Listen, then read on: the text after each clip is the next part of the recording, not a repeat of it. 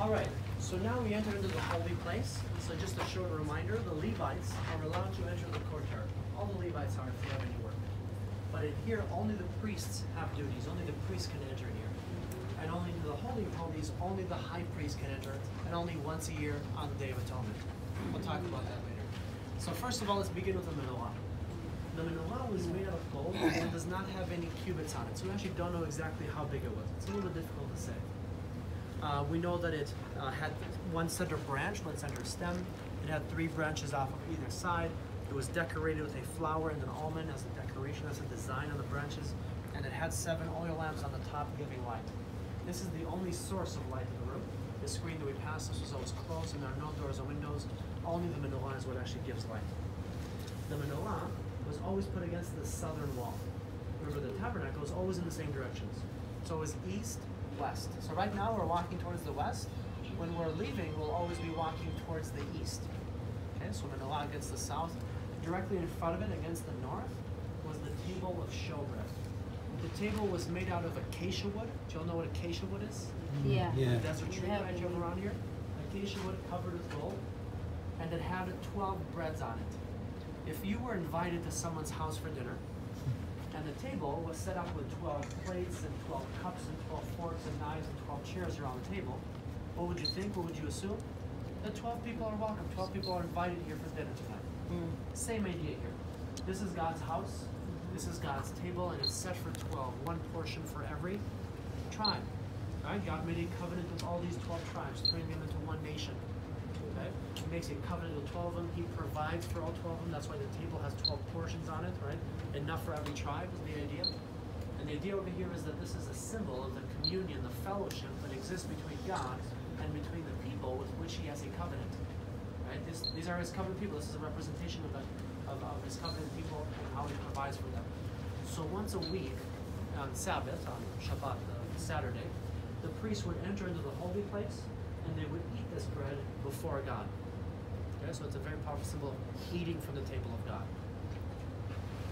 All right, here you have the altar of incense. The altar was made out of acacia wood. It was covered with gold. It had fire in it. It's an altar, but it's only for burning incense, no sacrifices. But the fire was brought from the altar of sacrifice. The fire itself was from the altar. So they'd bring the fire over here with, with a bowl, and they would put the coals over here. and This was for the incense to be lit at least twice a day, every morning and evening. Right?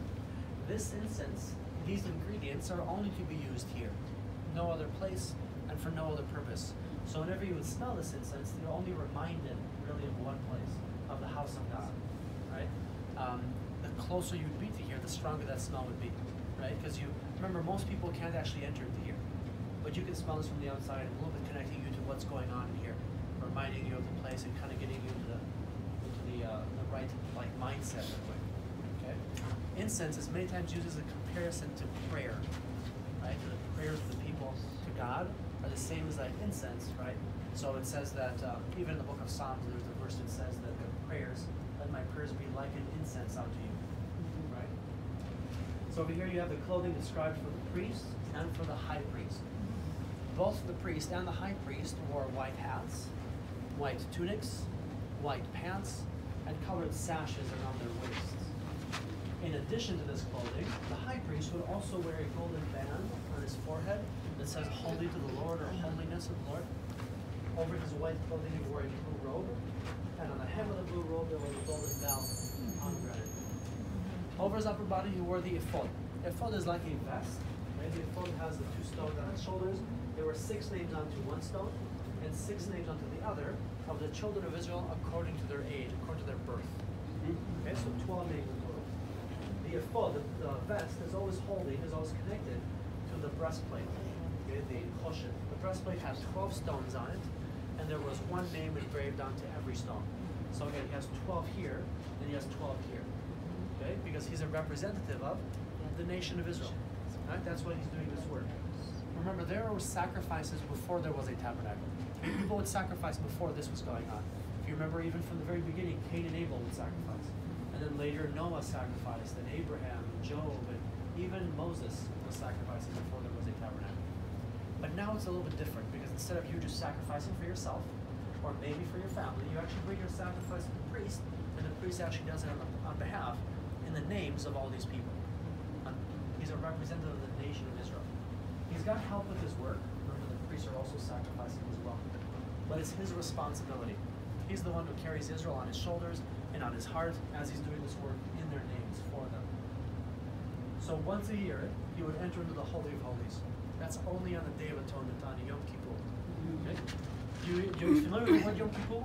Yes. I use it in English very often as well. It's usually in the Bible, it's actually called Yom Kippurim, which is the plural form of the word atonement.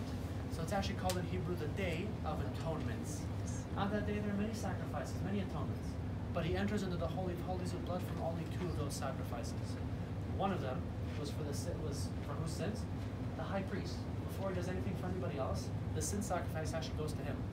The Bible makes it very clear that every prophet, every priest, every king, they also have sin as well.